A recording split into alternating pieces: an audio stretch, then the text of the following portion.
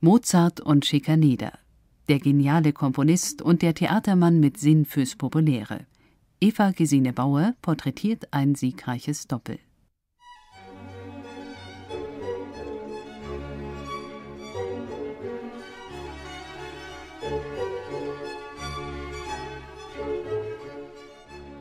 Künstlerfreunde sind als Team unschlagbar, wenn sie sich ergänzen. Wenn jeder weiß, dass er den anderen braucht. Wie Goethe und Schiller, wie Hofmannsthal und Strauß oder wie Mozart und Schikaneder. Nur weil er Librettist von Mozarts Zauberflöte war, ist Schikaneder als Theatermann nicht vergessen. Die Vogelfänger bin ich ja, stets lustig, heißer Hupsassa. Ich Vogelfänger bin bekannt, bei alt und jung im ganzen Land mit dem Locken umzugehen und mich auf Pfeifen zu verstehen. Für Schikaneder selbst blieb die Zusammenarbeit mit Mozart das wichtigste Ereignis seines Daseins, bis er verarmt und verwirrt starb am 21. September 1812. Dass jedoch Mozart durch Schikaneder zu neuem Leben erwachte, versteht erst, wer sich ins Innere dieser Beziehung begibt. Begonnen hat sie in Salzburg im Jahr 1780. Bei alt und jung im ganzen Land. Ein Netz für Mädchen möchte ich, ich will sie duzen, weiß für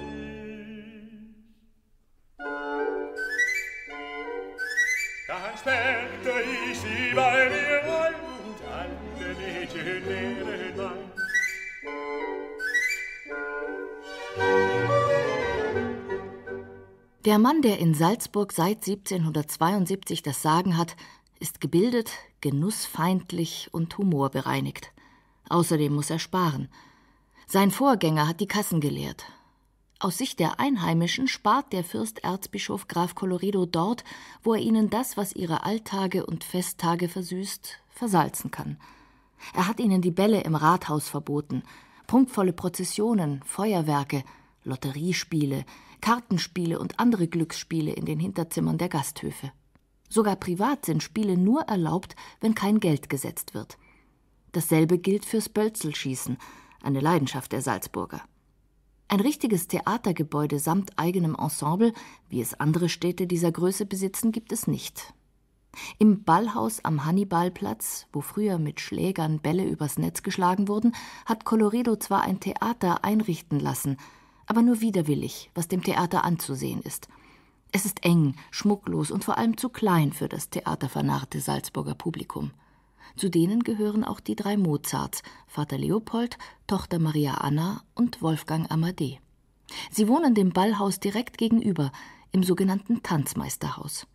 Wenn eine neue Wandertruppe in Salzburg gastiert, überschlägt sich die Neugierde. Im Herbst 1780 tritt hier die Truppe eines Prinzipals aus Niederbayern an, über den geredet wird. Nicht nur, weil er mit seinen 29 Jahren ziemlich jung ist für diese Aufgabe, auch weil er für Furore gesorgt hat. Behandelt jeden Menschen nach seinem Verdienst. Und wer ist dann vor Schlägen sicher? Shakespeares Hamlet spielte er im Münchner Hoftheater. Die Kollegen dort hatten gehofft, dass der unliebsame Gast während des Stücks ausgepfiffen würde und hatten schon Ersatz parat. Doch er triumphierte. Das Angebot des Intendanten Graf Seeau, die Regie des Hoftheaters zu übernehmen, lehnte er ab. Die abenteuerliche Freiheit mit der eigenen Truppe war ihm lieber als brave Sicherheit. Mozart hingegen hatte vor drei Jahren von Seeau erfahren, für ihn sei am Münchner Hof keine Stelle frei, obwohl er der Ansicht war, ich würde München gewiss viel Ehre machen. Schikaneder muss Mozart imponieren. Sogar die Theaterkritiker betonen, wie gut er gewachsen sei. Ein viriler Typ mit dunklem Haar, dunklen Augen und Brauen, kräftigem Bartschatten. Genau das, was der kleinwüchsige, blasse Mozart bewundert, dem mit 22 gerade mal die ersten Barthaare wuchsen. Der Mann aus Straubing tritt auf als ein Mann von Welt trägt seidene Strümpfe, Schuhe mit roten hohen Absätzen, Hosen und eine silberbestickte Weste aus gelber Seide, einen Frackrock in Scharlachrot, dazu einen dreieckigen Hut mit weißen Federn, an der Seite einen Stahldegen. Mozart muss sein schwarzes Galagewand flicken lassen. Dieser Schikaneder gefällt auch Leopold Mozart, nicht nur weil Schikaneder wie Vater Mozart Jesuitenzögling war.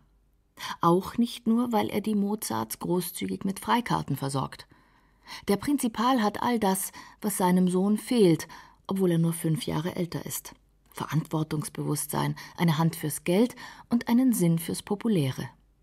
Leopold Mozarts Sohn hat auf seiner letzten großen Reise den letzten Kredit des Vaters aufgezehrt. Schikaneder steht finanziell für eine Truppe von über 40 Leuten gerade. Er muss nicht nur für ihre Entlohnung sorgen, sondern auch für die Kosten von ärztlichen Behandlungen und Entbindungen, von Transport, Verköstigung und Unterbringung. Mozart hat sich bisher alle Reisen organisieren lassen. Schikaneder ist sein eigener Reiseveranstalter. Dabei hat Mozart Schikaneder einiges an Erfahrung voraus. Er kennt Europa von Wien bis London, von Antwerpen bis Rom, von Zürich bis Neapel, von Mailand bis Rotterdam. Schikaneder kennt ein paar Städte in Süddeutschland, kennt Innsbruck, Laibach, Klagenfurt, Linz und Salzburg. Doch Mozart hat nicht erworben, was Schikaneder, der Sohn von zwei niederen Dienstboten, von Kind an erwerben musste Pragmatismus. Mozarts größtes Glück ist es, Opern zu komponieren. Dazu braucht er ein Libretto, das ihn anregt, findet er. Dazu braucht er ein Libretto, das ankommt, findet sein Vater. In Schikaneder, der ständig eigene Stücke auf die Bühne bringt, wittert Leopold Mozart einen Textdichter, der seinen Wolfgang in die richtige Richtung bringen könnte. Der Sohn hat gründlich nachgedacht, was in der Musik eigentlich Effekt macht, wie er das nennt. Der Bühnenmann Schikaneder hat es heraus, was aufs Publikum wirkt, lässt Helme und Häuser brennen, sorgt für Donner und Blitz, verwandelt Gefängnisse in Gärten und Ungeheuer in Helden. Doch er weiß, dass er nicht komponieren kann, denn er hat es probiert. Schikaneder ist nicht genial, aber er hat Spürsinn für solche, die es sind. Er hat bei Mozart eine Arie bestellt, als Einlage für ein Theaterstück. Mozart hat Lust dazu, nur keine Zeit. Er ist voll in Beschlag genommen von dem Auftrag für die Münchner Karnevalssaison, ein Libretto des Salzburger Hofkaplans Varesco zu vertonen, Idomeneo, Re di Creta. Am 5. November muss er nach München abreisen mit der unfertigen Partitur im Gepäck. Schikaneder begleitet ihn bis zur Postkutsche. Beide wissen, was sie teilen. Die Vorliebe für Stücke ohne hehre Helden und überirdische Mächte, in denen sich die Zuschauer wiederfinden – wo nicht die Könige triumphieren, sondern die gewitzten, einfachen Leute. Schikaneder hat den Salzburgern Beaumarchais Barbier von Sevilla kredenzt, gepfefferte Kost, die Mozart geschmeckt hat. Sie teilen aber auch den Widerwillen gegen eingebildete Italiener, Welsche Esel genannt, gegen gefallsüchtige Kastraten und gegen alles, was zu lang ist. Bei Varesco ist Mozart sehr vieles zu lang. Und sogar sein bewunderter Shakespeare muss sich in dieser Hinsicht Kritik gefallen lassen. Wäre im Hamlet die Rede des Geistes nicht so lang, sie würde noch von besserer Wirkung sein. Während Mozart in München über Sänger herzieht, denen es an Stimme fehlt, an Technik, Musikalität oder einfach an Vorbereitung, ist Schikaneda mit dabei, wenn im Tanzmeisterhaus mit gefiederten Bolzen auf eine bemalte Scheibe geschossen wird. Das ist neben dem Tanzen Mozarts liebste Freizeitbeschäftigung. Und während Schikaneder mit der Agnes Bernauerin die Salzburger Theaterbesucher so in Bann zieht, dass sie den Bühnenbösewicht auf offener Gasse oder im Wirtshaus zusammenschlagen, arbeitet Mozart daran, das Münchner Publikum zu erobern. Schikaneder beweist, dass er weiß, wie populär sein geht. Seinem Kassenerfolg in Salzburg ist es zuzuschreiben, dass Mozart vom Vater erinnert wird, ich empfehle dir bei deiner Arbeit nicht einzig und allein für das musikalische, sondern auch für das unmusikalische Publikum zu denken. Du weißt, es sind 100 Unwissende gegen 10 wahre Kenner. Vergiss also das sogenannte Populare nicht, das auch die langen Ohren kitzelt. Sein Sohn reagiert verärgert. Das lässt er sich nicht sagen, von seinem Vater schon gar nicht. Wegen dem sogenannten Populare sorgen Sie nichts. Denn in meiner Oper ist Musik für aller Gattung Leute, ausgenommen für lange Ohren nicht. Mozart reagiert dennoch.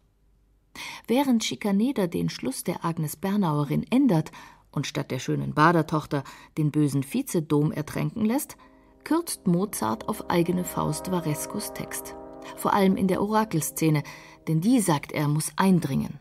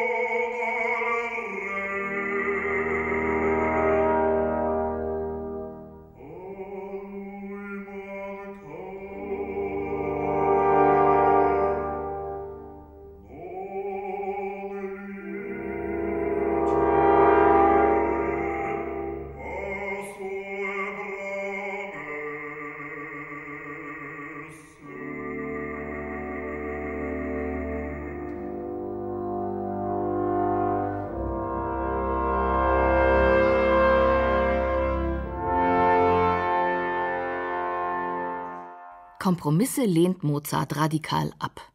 Schikaneder nicht. Ein Praktiker passt sich dem Publikum an. Ein Genie verweigert das. Es macht, was es muss. Mozart hat auf den Posaunisten für die Orakelszene bestanden, auch wenn ihm vorgehalten wurde, es sei ein teurer Spaß, nur dafür zusätzliche Bläser zu bezahlen. Zwischen Proben und Uraufführung hat er endlich die versprochene Arie an Schikaneder geschickt. Persönlich bedanken kann Schikaneder sich dafür nicht. Er verlängert seine Zeit in Salzburg mit Erlaubnis des Fürsterzbischofs. Mozart verlängert seinen Aufenthalt in München ohne Erlaubnis des Fürsterzbischofs. Bis ihn Colloredo Mitte März wütend nach Wien zitiert, wo er zeigen will, wer er zu Hause in Salzburg ist. Auch Mozart gehört zu seinem Vorführprogramm. Der aber macht nicht mit. Einer wie Schikaneder hat es ihm doch gezeigt, dass ein freier Künstler überleben kann, und zwar gut. Mozart provoziert seinen Rausschmiss aus den Diensten des Erzbischofs. Mit einem Tritt in den Hintern. Und meldet zufrieden: Ich bin nicht mehr so unglücklich, in salzburgischen Diensten zu sein. Ich will nichts mehr von Salzburg wissen. Ich hasse den Erzbischof bis zur Raserei. Schikaneder denkt sich so etwas. Sagen würde er es nicht. Und schreiben schon gar nicht.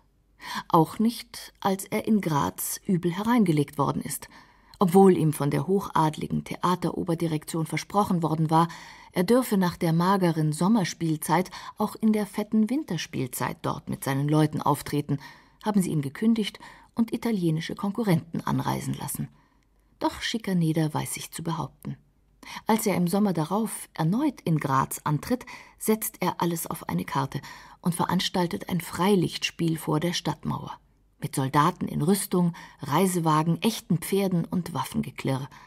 Was viele vorher für abwegig hielten, spricht sich bis Wien herum. Der Erfolg gibt Schikaneder recht. Seit dieser Grazer Sensation ist er begehrt. Mozart arbeitet ebenfalls daran, publikumswirksam zu sein. Mit einem deutschen Singspiel, der Entführung aus dem Serai, will er den Durchbruch schaffen. Sein Janitscharenchor hat das Zeug zum Gassenhauer. Kurz und lustig, und ganz für die Wiener geschrieben. Über den Textdichter Stefani allerdings ärgert sich Mozart. Er hat ihm doch klar gemacht, bei einer Opera muss schlechterdings die Poesie der Musik gehorsame Tochter sein. Aber dieser Stefani gehorcht nicht.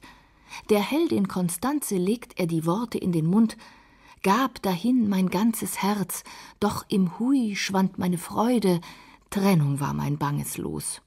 Mozart macht daraus doch wie schnell schwand meine Freude und schimpft. Ich weiß nicht, was unsere deutschen Dichter denken.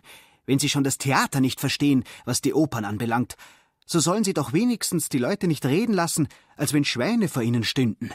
Hui Sau! Der Erfolg seiner Entführung aus dem Serai gibt auch Mozart recht. Stolz berichtet er dem Vater, wie gut er in Wien ankommt und warum. Um Beifall zu erhalten, muss man Sachen schreiben, die so verständlich sind, dass es ein Fiaker nachsingen könnte. Wirkt das Vorbild Schikaneder? In privater Hinsicht wohl schon. Schikaneder hat sich mit 26 die Ehefrau genommen, die er wollte, seine Kollegin Eleonore Art. Er hat sie allerdings auch betrogen, mit wem er wollte. Er ist eben ein Frauenheld, der an fast jedem Spielort eine bleibende Erinnerung in den Taufbüchern hinterlässt. Mozart ist es nicht. Das hat er schmerzlich erfahren. Aloysia Weber hat ihn rüde abblitzen lassen. Nun, mit 26, nimmt er sich die Frau, die er will. Aloysias Schwester Konstanze.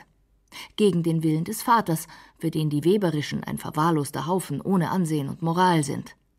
Mozart fühlt sich frei und wohl in Wien. Das ist für mein Metier der beste Ort. Schikaneder ist noch auf der Suche nach dem besten Ort. Er ist in Graz, Buda, Pest und Pressburg gewesen, ehe es ihn ebenfalls nach Wien treibt. Er hat viel hinter sich. Er ist niedergebrüllt und gefeiert, betrogen und reich belohnt worden. In Pressburg saß Kaiser Joseph II. in der Hofloge, als Schikaneder sein neuestes Werk aufführte. Ein Drama über den Doppelselbstmord eines Liebespaares, von dem er in Pest gehört hatte. Der Kaiser war begeistert. Hat er Schikaneder überzeugt, auch für sein Metier sei Wien der beste Ort? Am 5. November 1784 eröffnet Schikaneder in Anwesenheit des Kaisers seine erste Saison am Kärntner Tortheater in Wien, wo er als Impresario, Regisseur und Schauspieler engagiert ist. Mozart trägt nun einen roten Rock wie Schikaneder und wohnt nach mehreren Umzügen in einem der schönsten Mietshäuser der inneren Stadt, im Kamesina-Haus in der Schulergasse, von wo es nur wenige Minuten zum Kärntner Tortheater sind. Die Partie der Konstanze in der Entführung aus dem Serai hat Schikaneder bestens besetzt, mit Margarete Kaiser, einer Sängerin, für die Mozart derart geschwärmt hat, dass sein Vater Angst bekam. Zu dessen Beruhigung platzte das Rendezvous.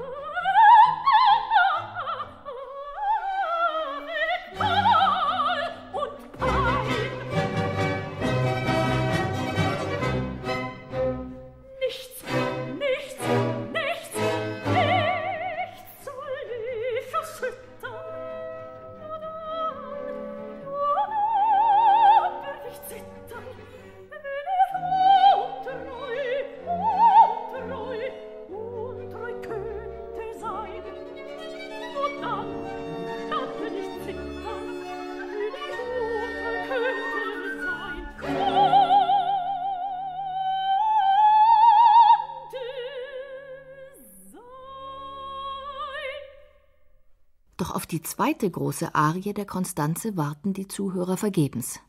Schikaneder hat sie durch eine andere ersetzen lassen, denn das Orchester ist nicht imstande, die Martern-Arie zu begleiten. Kann ein Mozart das verzeihen? Er kann, offenbar. Schikaneder bringt eine Oper von Peter Winter, den Mozart hasst, weil er angeblich dem Vater gegenüber seine Konstanze als Luder bezeichnet hat und eine Oper von Salieri, Mozarts Konkurrenten und erfolgreicherem Widersacher. Stößt Mozart das auf? Anscheinend auch nicht. Seine Nähe zu Schikaneder ist dokumentiert. Am 14. Dezember wird Mozart in die Freimaurerloge zur Wohltätigkeit als Lehrling ersten Grades aufgenommen, wo er eine Blitzkarriere durchlaufen wird. Und Schikaneder reimt für ihn einen Kettenspruch, wie er für Freimaurerrituale gebraucht wird. Wie solch ein Spruch aufgebaut sein muss, kann Schikaneder nicht wissen, denn noch ist er kein Logenmitglied. Er kann das nur von Mozart erfahren haben. Der beginnt umgehend den Spruch zu vertonen. Doch bevor Mozart Schikaneder zu seinem Librettisten machen könnte, stürzt Salieri vom Höhepunkt des Erfolges ab. Seine Oper Il Rico d'un Giorno fällt durch.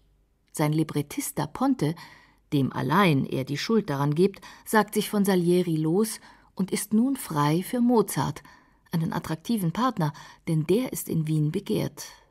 Als Pianist seiner Werke, nicht als Komponist.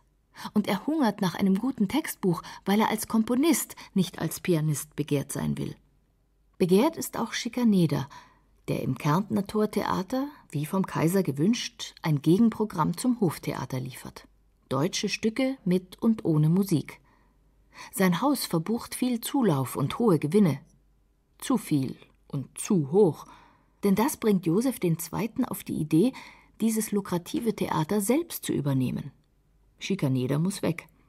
Und liefert selbst den Vorwand dazu. In Paris feiert seit Monaten das neue Stück von Beaumarchais einen Sensationserfolg. Die Fortsetzung des Barbier de Séville, genannt La folle journée ou le mariage de Figaro. Ein Stoff nach Mozarts Geschmack, der seinem Vater erklärt hat: Das Herz adelt den Menschen. Und wenn ich schon kein Graf bin, so habe ich vielleicht mehr Ehr im Leibe als mancher Graf. Es ist auch ein Stoff für Schikaneder. Anders als Mozart, der spontan meist falsch agiert, ist er ein besonnener Stratege. Er gibt das Stück einem Herrn Rautenstrauch zur Übersetzung, der bei Hof Parteienvertreter ist, zuständig für verwaltungsrechtliche Angelegenheiten. Die Premiere wird für den 3. Februar 1785 angesetzt. Theaterzettel sind gedruckt, Proben sind abgehalten, Billets verkauft. Da wird am Tag der Premiere von der Zensurbehörde die Aufführung verboten. Zu brisant dieses Stück, in dem Verlogenheit, Intriganz und sexuelle Gier eines Grafen durch die Schleue seiner Diener entlarvt werden. Doch wenige Tage danach fragt Mozart bereits bei Da Ponte an, ob er aus diesem Stück ein Textbuch für ihn machen wolle. Da hat Schikaneder schon seine Abschiedsvorstellung gegeben, mit der er es dem Kaiser nochmals gezeigt hat. Denn er fuhr mit der deutschen Version von Paisiellos Oper König Theodor ein Vielfaches von dem ein, was das Hoftheater im Jahr zuvor mit der italienischen Version kassierte. Trotzdem, Schikaneders Zeit als Direktor am Kärntner Tortheater ist vorbei. Zum Abschied riskiert er, frech wie Figaro, den Kommentar: Man kennt den langsamen Gang der Nationaltheatergeschäfte. Wozu der Sänger unter der Hofdirektion zwei Monate braucht, braucht er unter dem Privatunternehmer zwei Wochen. Mozart würde das sofort unterschreiben. Dass der Kaiser Schikaneder zum Trost einen Posten als Schauspieler am Burgtheater verschafft, ist vordergründig ehrenvoll. In Wahrheit ist es herabwürdigend. Schikaneder wird mit Nebenrollen abgespeist. Was er daraus zu machen vermag, entgeht Mozart und seinem Vater, der auf Wien-Besuch ist, nicht. Als Maler Schwindel in Glucks Oper Die Pilgrime von Mekka, zu der Mozart zehn Klaviervariationen schrieb, zeigt er sein urkomisches Talent und wird zum Helden des Stücks. Trotzdem ist Schikaneder auf der Verliererseite. Auch seine Frau hat er verloren, an einen lungenkranken Theaterdichter namens Friedel, der wenig Ruhm, aber Treue zu bieten hat. Schikaneders Anlauf, ein eigenes Theater in Wien zu errichten, wird gebremst. Der Kaiser erteilt ihm die Erlaubnis, eines zu bauen, nicht aber dort, wo Schikaneder es will. Da tingelt er lieber weiter.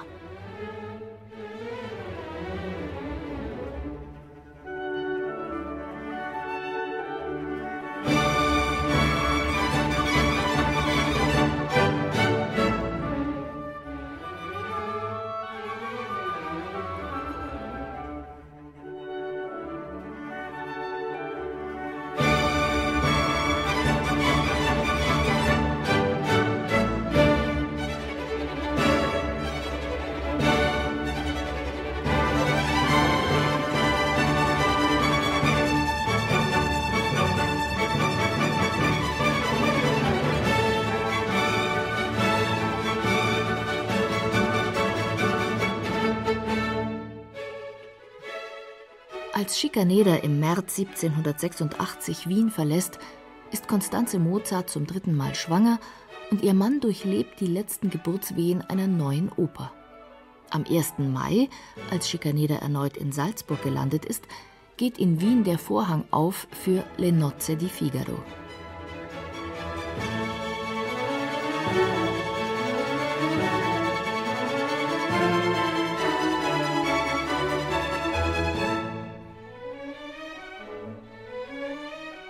Ein italienisches Singspiel in vier Aufzügen, verkünden die Anschlagzettel. Die Musik ist vom Kapellmeister Mozart. Weder der Name des Librettisten da Ponte ist darauf genannt, noch der des Autors Beaumarchais. Was in unserer Zeit nicht erlaubt ist, gesagt zu werden, wird gesungen, kommentiert die Wiener Realzeitung die Premiere. Dieser Mozart kann komponieren, muss der Kaiser zugeben. So gut, dass er überhören will, wie viel Spott in der Arie des Figaro steckt, als er singt Wenn Sie tanzen wollen, Herr Gräflein.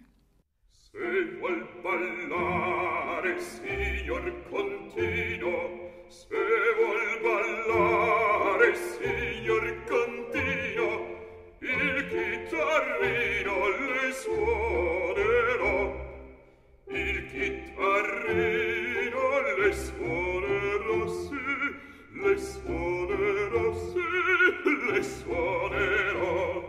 Dieser Schikaneder kann nicht komponieren, nicht einmal kombinieren, muss sein Verehrer Leopold Mozart feststellen, als er in Salzburg das Urianische Schloss hört. Eine zusammengestohlene Oper, wie er sich empört, vom Schikaneder selbst zusammengeschmiert. Doch nichts und niemand kann verhindern, dass Mozart und Schikaneder wieder zusammentreffen. Es ist aber nicht Mozart, der den Freund wieder herlockt. Es ist Schikaneders Frau. Zusammen mit Friedel war sie selbst zur Theaterdirektorin geworden und hat zuletzt mit ihm in Wien das Theater auf der Wieden übernommen. Es befindet sich im Freihaus, dem größten Mietkomplex von Wien, vor den Toren der Stadt gelegen. Die Siedlung ist fast autark. Im Erdgeschoss der sechs Innenhöfe mit Gärten und Brunnen befinden sich mehrere Gastwirtschaften, eine Apotheke, eine Ölpresse, eine Schmiede, eine Schreinerei, eine Mühle und eine Bäckerei, eine eigene Schule und eine eigene Leihbibliothek. Seifensieder, Sattler, Kirschner, Fleischhauer, Zinngießer und ein Händler, der direkt importiertes italienisches Olivenöl verkauft. Über hundert Familien wohnen dort am rechten Ufer des Flusses Wien. Und noch immer wird das Freihaus weiter ausgebaut. Da stirbt Friedel, und Eleonore Schikaneder braucht einen Mann an ihrer Seite, der offiziell das Theater weiterführt – Sie denkt an ihren Angetrauten. Das Angebot kommt Schikaneder gerade recht. Er hat zwar in Augsburg Erfolge gefeiert und auch in Regensburg triumphiert, der Stadt, in der er als halb verwaister Habenichts aufgewachsen war, vor allem wieder mit Spektakeln in hölzernen Amphitheatern auf freier Wiese. Doch dann ist ihm der vertraute Regensburger Boden zu heiß geworden.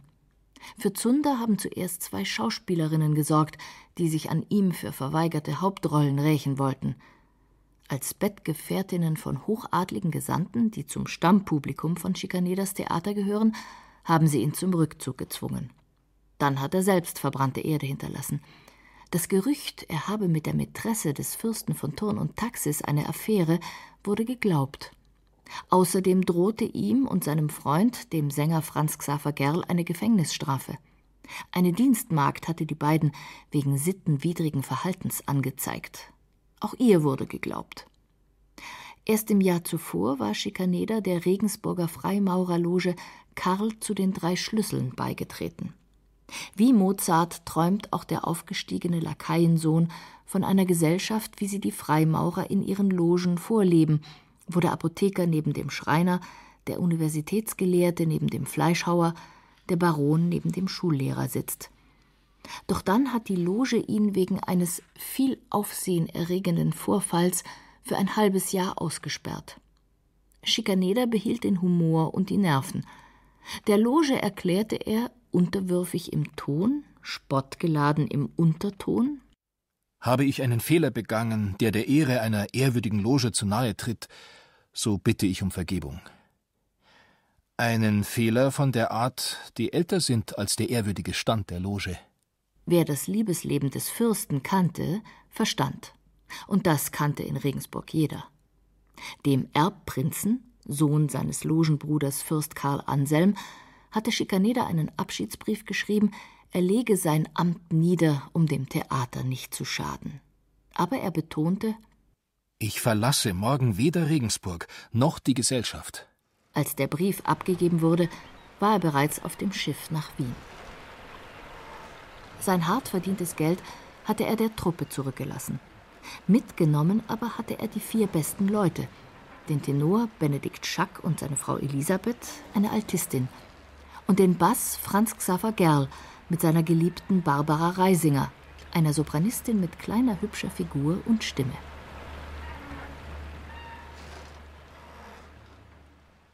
Während Schikaneder den Überblick über seine unehelichen Kinder verloren hat, ist den Mozarts mittlerweile das dritte von vier Kindern weggestorben. Er hat eine weitere Oper mit Da Ponte auf die Bühne gebracht, den Don Giovanni. In Prag ein Erfolg, in Wien nicht. Und in Frankfurt am Main prophezeite ein Rezensent, diese Oper werde bald ganz vergessen sein. Seine Begründung Die Musik ist nicht populär genug. Nicht erstaunlich, dass Mozart schnell Kontakt zu Schikaneda aufnimmt, dem Mann fürs Populäre. Außerdem ist es naheliegend. Mozart fühlt sich im Freihaus daheim. Ganz ungeniert, seit sein Vater tot ist. In den Augen Leopold Mozarts wäre das Treiben hier so liederlich gewesen wie die Weberischen, von denen bereits drei hier wohnen.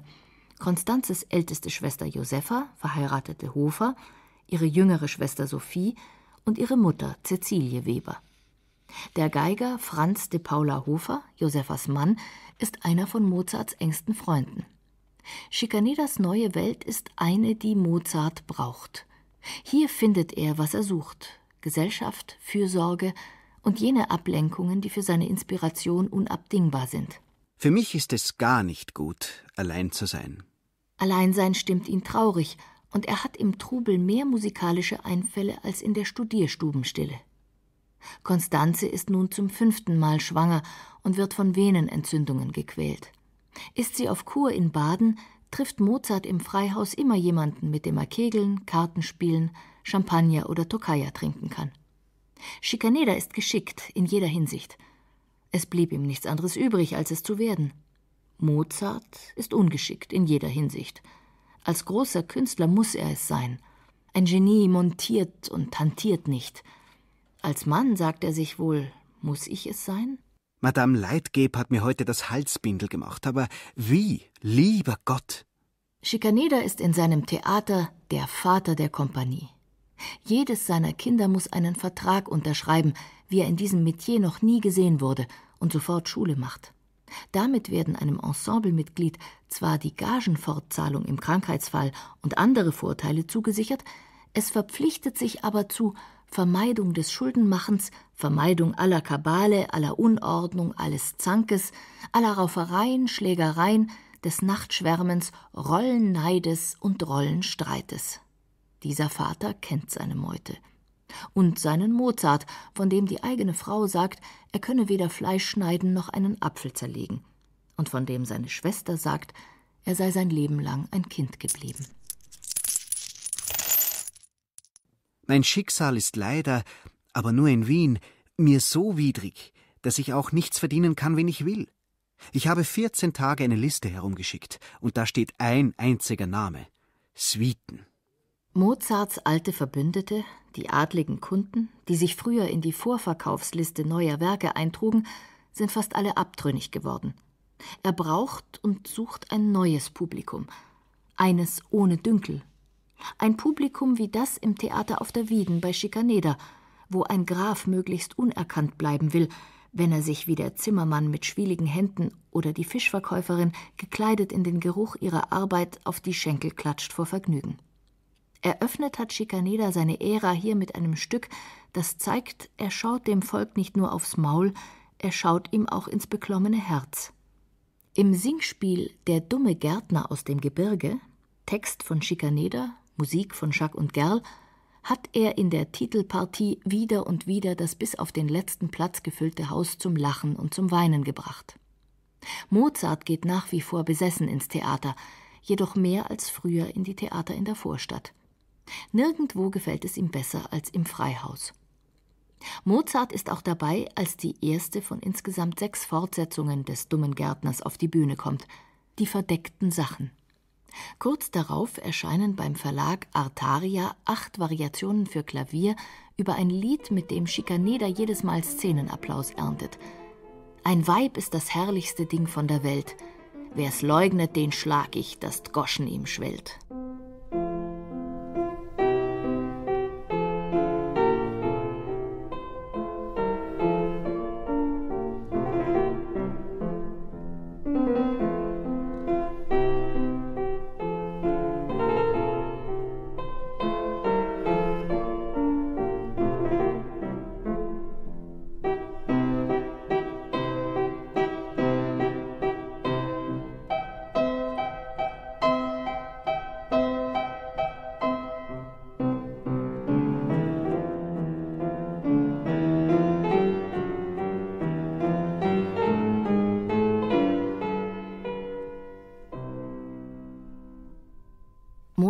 Erinnert sich, den einzigen großen Publikumserfolg in Wien hat ihm ein deutsches Singspiel eingebracht, die Entführung aus dem Serai.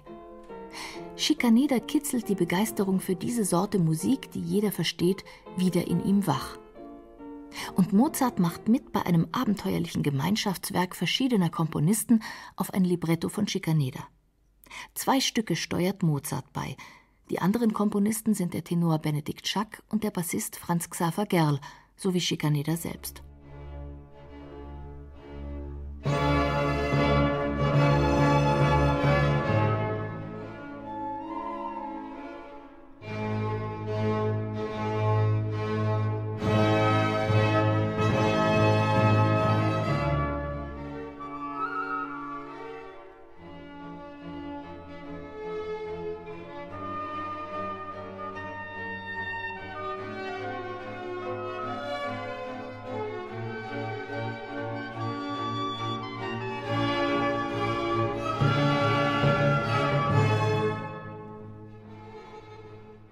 Das Stückwerk mit dem Titel Der Stein der Weisen oder die Zauberinsel wird kein Renner. Aber es hat Mozart Spaß gemacht und ihn wie Schikaneder auf die Spur einer Mode gebracht, mit der sich derzeit in Wien die Häuser füllen lassen. Angebliche Geheimlehren auszuplaudern. Denn die Leute gieren nach Mysteriösem, das ablenkt von den blutigen Ereignissen der französischen Revolution in Paris. Sie schreien nach Zauberopern und Freimaurerstücken, nach Fantastischem und Mystischem. Und die Vorstadttheater bedienen sie damit. Der Ponte hätte sich kaum für einen solchen Stoff erwärmen können, aber den entlässt Kaiser Leopold II. im Januar 1791 ohnehin fristlos. Mozart hat mehr als genug zu tun. Im letzten Moment wird ihm angetragen, die Festoper zur Krönung des Kaisers zum König von Böhmen in Prag zu komponieren – den Auftrag für einen anonymen Auftraggeber, eine Totenmesse zu schreiben, nimmt er ebenfalls an. Sogar die verhasste Aufgabe, für eine Orgelwalze zwei Stücke zu schaffen, die ein windiger Unternehmer im Mausoleum für den Feldmarschall von Laudon abspielen will, in einem Tempel aus Holz und Pappmaché mit viel Pomp und ohne jeden Geschmack. Mozarts finanzielle Lage ist bedrohlich. Seine Freimaurerbrüder Puchberg und Hofdemel an die er ständig Bettelbriefe richtet, dürfte er nach den Regeln des Ordens keinesfalls anpumpen. Vom Adel fühlt er sich verraten. Sein ehemaliger Mäzen und Reisegefährte, der steinreiche Fürst von Lichnowsky, geht nun wegen nicht zurückgezahlter Schulden gerichtlich gegen ihn vor. Jeder sieht es, Mozart hat sich verändert. Schikaneder hat die Perücke vor vielen Jahren abgelegt. Mozart tut es ihm nach, und lässt sich nun mit seinem dunkelblonden Haar porträtieren. Schikaneder hat ebenfalls finanziellen Ärger. Sein Theater wurde verleumdet als brandgefährdet, vermutlich von seinem Konkurrenten Marinelli, und sein bürgerlicher Mitunternehmer, der Vermieter des Theaters auf der Wieden, hat Konkurs angemeldet. Er braucht einen Erfolg, der ihn herausreißt, so dringend wie Mozart, dessen Clemenza di Tito bei der Uraufführung in Prag gar nicht gut angekommen ist. Schikaneder bietet Mozart nicht nur das gleiche Honorar wie der Kaiser für die Krönungsoper, er bietet ihm weit mehr. Völlige künstlerische Freiheit. Die hatte Mozart noch nie. Schikaneder arbeitet mit Mozart eng zusammen am Textbuch einer Märchenoper, genannt Die Zauberflöte, noch dazu in angenehmer Umgebung, im Garten oder einem hölzernen Gartenhaus auf dem Freihausgelände. Dort draußen leben die Sänger, für die er seine Arien komponiert. Seine Königin der Nacht, die Schwägerin Josefa Hofer, sein Tamino, Benedikt Schack, sein Sarastro, Franz Xaver Gerl, seine Papagena, dessen Frau Barbara, der erste Knabe, Schikaneders Nichte Nanni und natürlich sein Papageno, Schikaneder selbst. Schikaneder schlägt Mozart keine Bitte ab. Mozart wünscht Posaunen und bekommt sie. Er braucht den besten Soloflötisten, anders ist Querflöte für ihn Folter. Und er bekommt ihn. Er wird befreit vom Druck, dauernd dramatische Spannung zu liefern. Denn Schikaneder sorgt auch dann für Unterhaltung, wenn auf der Bühne sonst wenig geschieht. Keiner hat mehr Fantasie und keiner mehr Erfahrung, was die möglichen Wunder angeht. Ob Ungeheuer oder Flugwerke, Wasserfälle oder Feuersbrünste. Vor allem bringt Schikaneder nichts aus der Ruhe. Die Uraufführung ist für den 30. September angesetzt. Erst zwei Tage davor schreibt Mozart den Priestermarsch und die Ouvertüre. Das Haus ist bis auf den letzten Platz besetzt, als Mozart vom Hammerklavier aus das Zeichen zum Beginn der Ouvertüre gibt.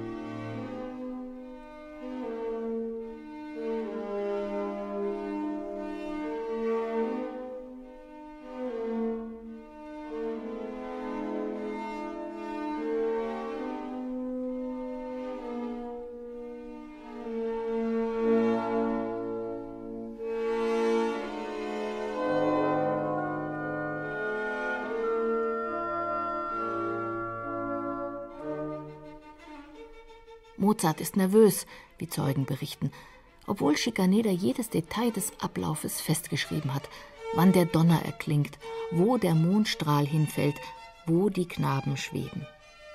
Mozart weiß, dass er hier etwas riskiert, was er noch nie wagen durfte. Er hat sich auf keinen Stil festgelegt, vielmehr die scharfen Kontraste des Librettos in Töne gesetzt. Ein einfaches Lied trifft auf einen geistlichen Gesang, Kindermelodien auf einen Marsch mit Pauken und Trompeten, Volkstümliches prallt auf Sakrales, Lächerliches auf Feierliches, Herzzerreißendes auf Komisches. Im Schutz des Magischen und Mystischen bricht Mozart mit Konventionen und Traditionen.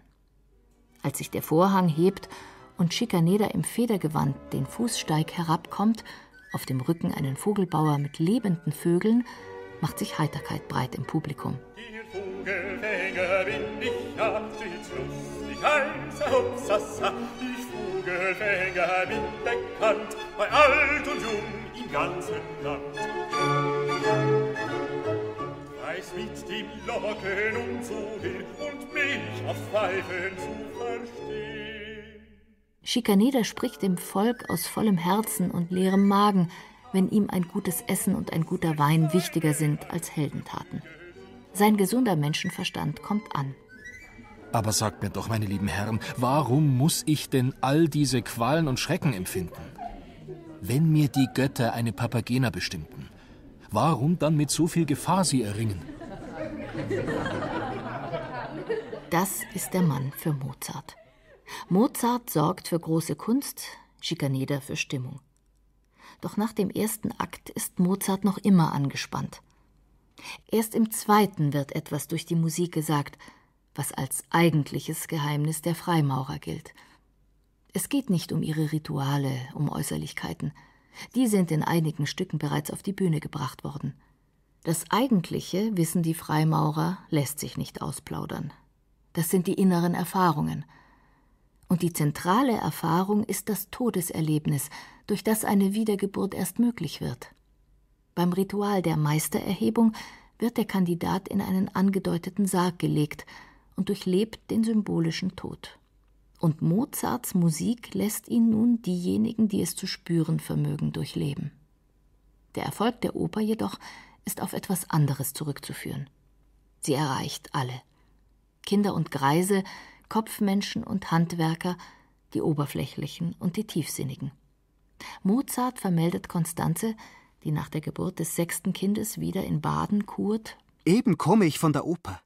Sie war ebenso voll wie alle Zeit. Was mich aber am meisten freut, ist der stille Beifall. Man sieht recht, wie sehr und immer mehr diese Oper steigt. Wie hoch erlebt Mozart nicht mehr. So wenig wie das, was aus seinem jüngsten Sohn Franz Xaver Wolfgang wird, den Konstanze später nach dem Vater Wolfgang Amadeus nennt. Mozarts überraschender Tod zwei Monate und fünf Tage nach der Uraufführung, zerschlägt alle Pläne und Hoffnungen. Zurück bleibt ein Schikaneder, der über seiner Verzweiflung nicht vergisst, den Freund auf die einzige Weise zu ehren, die ihm entspricht, indem die bereits vollendeten Teile des Requiems bei den Exequien in der Michaelerkirche aufgeführt werden. Auf welche Gefahr er sich damit einlässt, ist Schikaneder bewusst. Konstanze wird ihm nicht verheimlicht haben, dass der anonyme Auftraggeber sich das alleinige Aufführungsrecht hat zusichern lassen. Doch Schikaneder bleibt, was er war. Ein Mann, der Mozart brauchte, um nicht vergessen zu werden. Und den Mozart brauchte, um seine Visionen wahr werden zu lassen.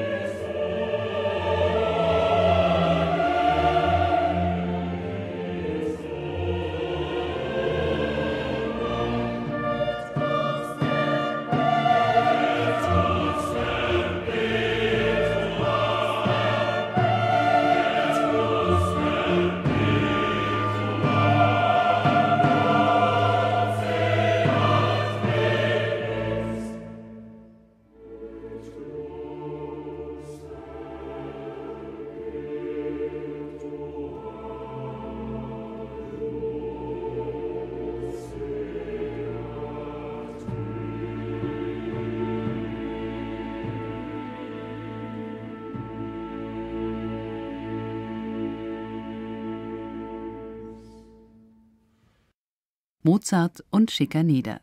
Ein siegreiches Doppel. Sie hörten ein bayerisches Feuilleton von Eva Gesine Bauer. Es sprachen Irina Banka, Christian Baumann, Berner Hertel und Alexander Duda.